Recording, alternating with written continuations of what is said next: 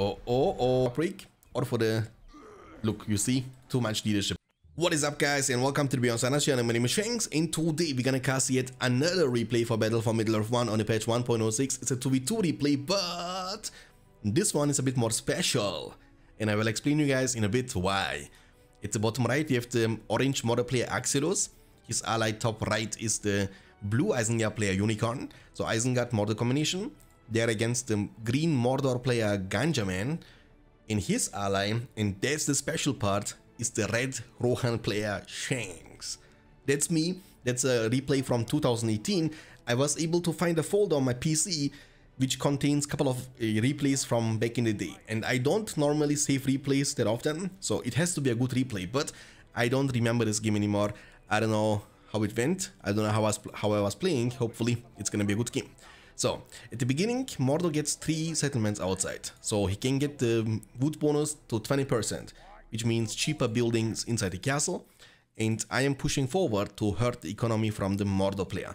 So if you have to make a choice between focusing down Isengard or Mordor, I would recommend you to focus down Mordor instead, because Mordor opening almost every single time before Orc Pit and Gollum, you know, and then he has no money left uh, buying anything inside the castle after getting those two settlements under his control. Which means if he can destroy even one of them, it will kind of slow down the Mordor progressing in the game quite a lot. And my ally with 3 settlements outside will grow rich incredibly fast. We get one more peasant. Back in the day I was not a big fan of the peasant spam.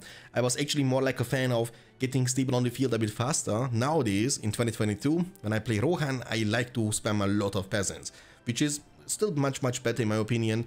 I just was too lazy back in the day. And uh, believe it or not, I've improved in this game. You know, I am nowadays better than I was back in 2018, even though I was younger. So age is only a number. My hobbit should be a little bit careful here, trying to you know defeat those Uruks. My ally has second Orc Pit coming up. That's very important when you play Mordor with a good faction ally like Gondor or Rohan against two evil factions. You want to spam orcs non-stop because orcs can be disturbing, annoying, and they can also be countering the enemy pikemen later on. Okay, this one is going to be taken down too. Mordor's eco is not looking too good.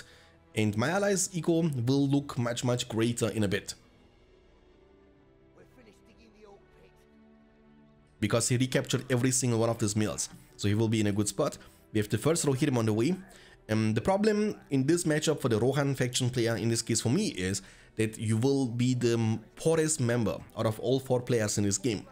Uh, Loki, you are kind of broke. That's what it is. Um, because you have only one single settlement outside. And remember, Rohan is the one faction with only 7 available spots inside the castle. That means, for example, Isengard Mordor have 8 and Gondor has even 9. And with one thing, uh, I can't even talk, with one single settlement outside, you will be kind of broke.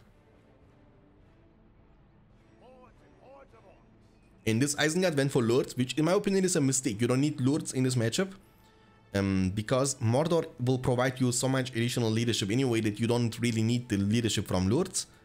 But it's not a bad thing, you know, because Lurtz can be a great counter to the Rohirrim early game. Rohirrim, in compared to the Gondor Knights, are much more vulnerable against arrow damage from heroes.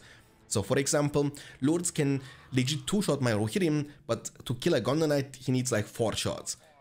Uh, they have the same HP, but Rohirrim have like a different armor set. Okay? I mean, I'm not allowing this Mordor to build up any lumber mill, so he doesn't get any wood bonus, because one mill is not enough to get the wood bonus. You need it bare minimum two to get the 10% discount.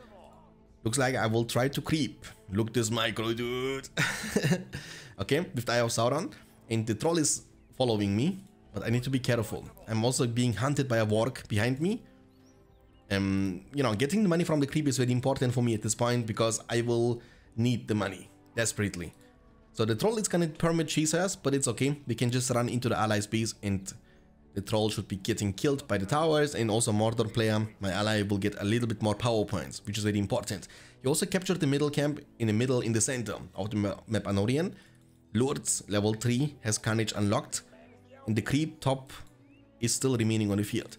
Mordor will be able now to build the troll cage but look my allies base. He has a full base with resource buildings beside those two orc pits and then he has now a middle camp too. Which he will be easily able to protect. Maybe not. Lurtz is coming in clutch He has Carnage, remember? That's gonna be a huge damage boost. He's gonna use it. Uh-oh. The towers, can they make it up? One, two, three, four, five. Okay, every single one of them made it up. It means there is no way that Mordor can destroy this camp. Just too many towers, you know? Just too powerful. Okay, in the meantime, I have armory upon the field. Um, no money for any upgrades yet. Again, with one single farm outside, it's tough. But it's okay, because with the three mills outside in the middle camp under his control, my ally will actually be super rich. He will be the richest member in the scheme and eventually be able to recruit something like a Nazgul or a Witch King super early, which is going to be quite helpful when it comes to rush the beast with my Rohirrim, because remember we are against Mordor and Isengard, so Mordor will have trolls to defend himself, which are a great counter, one of the best counters to the horses, and the Isengard play will have pikemen to counter my horses. But with the Witch King leadership and Witch King being able to kill those trolls, kill those pikes, it will me it will make my life much much easier to rush the pieces. I'm microing around, luring the troll to the middle camp and then trying to creep this. Let's see if he can get the last hit here. Lurtz eventually might be able to steal it. He's gonna draw the sword. Oh, he, he was going for it, but no, no, no. Oh, no, no, no, he doesn't get the money either. get outplayed, son. I mean, I was a beast, even, dude, I was even a beast back in the day, 2018. I'm playing good, actually. And we have now two PowerPoint situation for the Mordor player, for my friend uh, Ganjaman. He has industry, and boo. This is looking beautiful, by the way. Look at this. That These are five, uh, six furnaces, but they are acting like it would be 12 furnaces because every single one of them gives you double the money now as we are talking, you know? That's a huge, huge, huge thing. Heavy armor purchase.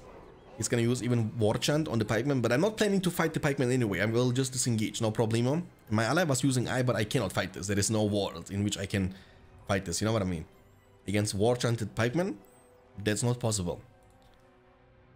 Okay, so we have the um, blade purchased and the heavy armor purchase. I'm pretty sure I'm trying to also go for the banner carry upgrade because banner is very important in the patch 1.06 against Mordor. Um, otherwise the Nazgul can screw your Rohirrim big time. And the good thing about Rohirrim, despite being the fact that we get countered hardcore from every single location, is the mobility. So we can actually hit and run and the enemy cannot catch us soon. So the trolls, they are fast, yes, but they cannot keep up with the speed of the Rohirrim. That's not possible. I mean, at this point of the game, I'm trying to just buy time for my ally uh, Mordor, who has now, I believe, uh, yeah, Witch King on the way. And he will also, okay, he's now giving up this two meals for me. That's very good. And uh, that's gonna be quite helpful for me to get a bit more money. Um, I still couldn't demolish that, okay, because I was waiting for the money. That's a mistake, by the way. now I would do that a bit different. I would just purchase all the upgrades first and then demolish it right off the bat, just to be a bit more time efficient. Because this is blocking a full spot out of 7 spots in my castle, and I don't get any money and any value from it. So I would just kept purchase everything before upgrading my units with it, and then demolish it ASAP. But from mistakes we learn. It's good though. We have now three farms outside. It's gonna be quite helpful to get a bit more money. Um, recruiting Theoden would be a pointless situation for me because I know there is a Lurtz who can eventually shut him down. Theoden, super vulnerable hero, super squishy hero. He will eventually die in a second. In Isengard, Mordor are preparing for a big push. Troll Kitch level 2, the first Drummer Troll is on the way. So, that's the problem. In an all-out fight, you cannot win against this army. That's not possible. Three combos with Trolls protecting them, Lurtz almost level 5 for even more leadership. In Drummer Troll, the best leadership giving unit in the entire game, against my Rohirrim, my Rohirrim don't stand a chance. They will die before they can even get to the point they, in which they can trample. And trample would legit deal no damage, but here comes the base rush. If 3 Rohirrim with Forge Blades and Heavy Armor, the Witch King from my ally is sporting big time, and I'm trying to I'm trying my best to kill the Uruk pit, to kind of cut down the pike, pikeman production, and also the production speed of the Uruk pit. Remember a level 1 Uruk pit producing 50% slower in compared to a Uruk pit level 3. So my goal is not to fight against trolls because I can't. I, my goal is not to fight against combos either. I'm trying to keep the opponent busy and just focusing down the structures because that's what brings you the victory in this game. You need to destroy every single structure and you don't have to kill every single unit. Now we need to peel back or not. I think I'm gonna now move to the bottom location keep rushing all the time. And that's the beautiful part about the situation. That's what you need to do when you play with cavalry in 2022 in Battle for Middle Earth 1. You need to use the power, the, the, the major power of these cavalry units is speed. And you have the hit and run potential. So we are rushing the one base, the opponent is coming to defend the one base, and then we are just moving down to the second base. Destroying structure and buying our, ourselves and our ally much more time because he has now a siege works. He will get more and more catapults to counter the uh, slow pikemen I mean slow combos from the Isengard player. The Witch King needs to be careful! Okay look look the damage output. That's what I'm talking about you know? He will also get level 10 in a, in a, in a second pretty much. Die he doesn't demolish yeah Lurtz almost level 5. Even catapults need like 10 shots to kill them. They are just too tanky. I have Sauron, combat experience, Lurtz level 5 for more greater leadership. And I know I cannot fight this, right? I, I know it's not possible for me to fight that. So I'm trying to rush the Isengard piece and hope, kind of force them to make a choice. Because, eh, you know, even if they de destroy the middle camp, it won't bring them the victory because my ally has still a castle, which they need to get, get through, you know what I mean? But if Isengard losing the main castle, he will be defeated no matter what. You have also Théoden on the field now, um, but I need to make sure to dodge, you know, Lurtz all the time. But Théoden even giving more leadership, that means our Rohirrim, as we are talking, we have 100% damage, 100% armor with the Witch King around them. And there are no pikemen. So in the meantime, the middle camp is going to be fully destroyed. Yes, fully destroyed. My ally actually doesn't have a second uh, siege works. He is going for the Nazgul, but Trolls, they don't stand a chance against this mini combos too. 4 power points in the bank. Mordor player Axilos has 3 power points in the bank after the Industry. And Unicorn, the Isengard player, has 5 power points in the bank after the Industry too. So he will go straight um, to the Freezing Rain, which is going to shut down the effects of Theoden King, of, you know, Witch King, and all the other leadership bonuses we get from Mordor. So basically Freezing Rain hard counters the Mordor's existence. But the problem here is for Unicorn, he is trying to go directly to the to the Freezing Rain. That means he has no land to cover the double land. So as we as you can see, we have a land from Mordor, from my ally, and I also do have a land. So what will happen eventually is uh, somebody's gonna use a land we can cover this land after it gets covered by the opponent player. And we have two lands against one, so we will always win the land fight. And land is working like a freezing rain. On our land, the enemy does have no leadership. Uh oh, they are committing now. Look, the tower. Look, you see? Level 7. Uh oh. Okay, big fight, big fiesta. Rohirrim are trying to charge in. Free Oh, but Lucy, the land advantage is massive. On our land, they have no leadership available. It means all the bonuses they get from the from the drummer troll, from Lurtz, from War Chant, from Eye of Sauron, they don't mean anything anymore. And he needs to move aside.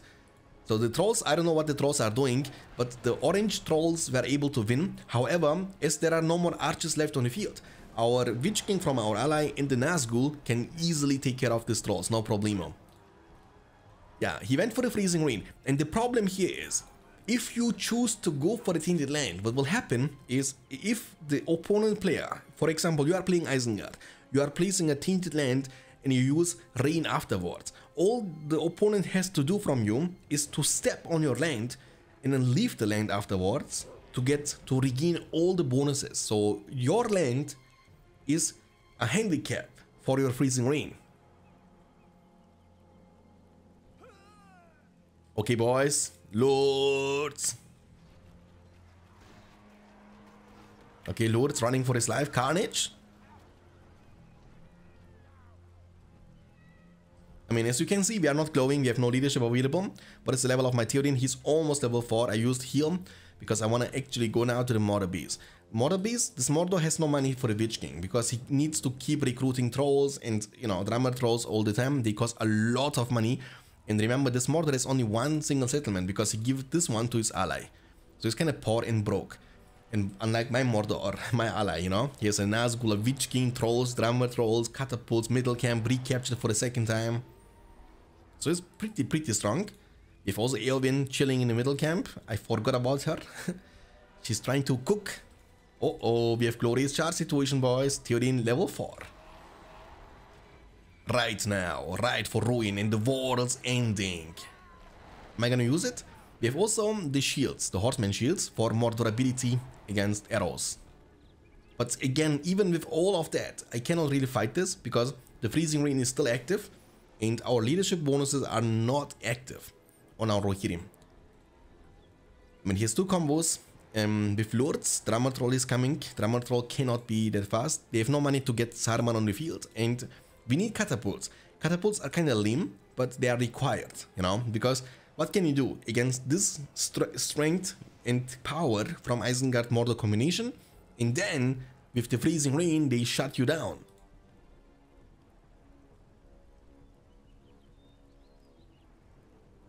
Okay, now we make the transition. We have Aragorn on the field.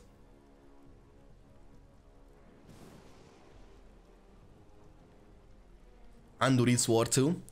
Super tanky dude, but even Aragorn would get literally one-shotted. Literally. Okay? Because Lurtz can cripple him, and then these combos can one-shot him. The Witch King Nazgul, he might go for a, for a next Nazgul.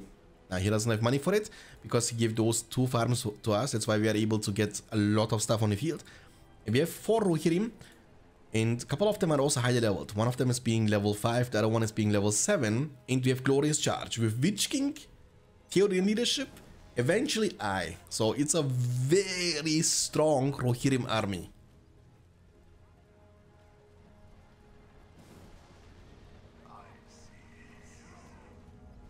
Big push. But again, hard counter situation from the trolls and pikeman combination, so I cannot trample into the pikeman in the porcupine formation. That's, you know, you can, of course, but you wouldn't survive that. It's just too powerful. Oh, oh, oh, the land wombo combo. And that's the one, one wombo combo you need to understand what is happening here. Because as we are trampling them, we are using land before the trample begins. So at the, at the moment of trample, the enemy losing all the bonuses. So what happens, as you can see, the pikemen they are immune to be trampled. They cannot be knocked down on the ground from, your, from our horses. But what we can do is we can kill the backline. For example, this combo right here has zero arch. I mean, he has one archer left. You need, you see what I mean? And the archer is required to deal damage because our combo is a range unit. And he, you can't go in the melee range and attack with the pikemen. The pikemen are only there for protection, for tanking the damage from horses, for example, right? And for that reason, even though the combos were able to survive, they are kind of being completely useless. What is Saruman doing? Eowyn, smite him. Look. I mean, my ally is losing those catapults, unfortunately, but it's fine. This Mordor needs a Witch King very, very soon. Um, we have three combos, but one of them is being completely useless. Actually, two of them are being completely useless. Um, Saruman was able to survive with 1 HP. We are waiting for the glorious charge. It's available now. We are, you know, looking for the momentum, looking for opportunity. Eowyn was able to survive actually. Um, she could have just used smite, but she's dismounted with Aragorn. That's all she wanted. All the dream from Eowyn in the, you know, Return of the King to, was to be with Aragorn. Okay, we are trampling, which is kind of risky. He's gonna use the Wizard Blast. I don't even see Saruman. I don't know. I don't know what's going on. There are just too many glowing units on the field. It's so disturbing. Aragorn is diving in. We have also combos now. Okay. Yeah, I forgot about them. We have also combos with Theoden leadership, Witch King, Aragorn giving them buff. Also, Eowyn got just one-shotted. Level 10 you know, combos. If they choose to shoot my Aragorn, they would die in a second. I mean, Aragorn would die in a second, but they don't get the chance to shoot because there are not many archers left on the field anymore. Lurtz and Saruman have been taken down. The power points are rising to the sky. Mordor has 12 power points after the darkness. He's only 8 power points away from getting the Balrog unlocked. Um, Axelos, this Mordor player at the bottom right, has just gotten the darkness and has 1 power point on top of that. Aragorn is chasing and hunting this level 10 combos like a madman. Aragorn, the one-man army he is, very very strong. Even trolls don't stand a chance against him. And Athelas, boom, 50% HP regeneration, just like that, you know? And Unicorn has 11 power points after the Freezing Rain. And we have actually 7 power points after the Land. So we can go for the for the um, Cloud Break or for the... Look, you see? Too much leadership. Level 10 instantly. You saw that, guys? Level 10, level 9. Aragorn giving 100%. And Aragorn got level 10 too? H how? the sharing experience momentum. Aragorn got instantly level 2. I think what happened is we killed Lurtz on the on the spot. Aragorn was too close to the combos and he just insta got level 10. And that's children is the main reason why we nerfed the combat experience in the patch 2.22. I used to love 1.06 version, okay? I played eventually thousands of games on this patch. Tens of thousands, as Sadaman would like to say. But there were some serious problems in this version as for example this one. Like there are two major heroes which can you know get from level 5 to level 10 in a, in a single in a blinking of an eye. And then those heroes can single-handedly win you the game. And one of them is being Aragorn as you can see there is no counterplay. If Aragorn gets to level 10 you're you are playing Isengard. You have infantry slow moving units. You cannot dodge the AoD and AoD regardless how much leadership you have are immune, they don't die to your arrows, they don't die to buildings, they don't die to Nazgûls, Witch King units, or heroes, and they will just one-shot everything you have. And that's a game-winning situation right there. Just put your unit, uh, put your hero next to the unit, with combat experience like crazy, think about it. We have Eye of Sauron for 100%, Drummer Troll for 200%, and Aragorn himself for another 100%. That's 400% combat experience, you know? And then, boom, one kill on a tower, on a unit, on a hero, and boom, you are from level 5 or from level 6 everywhere, all the way to level 10. GG well played. It was a good game actually. Uh, I was playing pretty good, not gonna lie. I hope you guys enjoyed. If you did, please don't forget to leave a like. It's kind of, it feels kind of strange to cast your own replays, you know what I'm saying?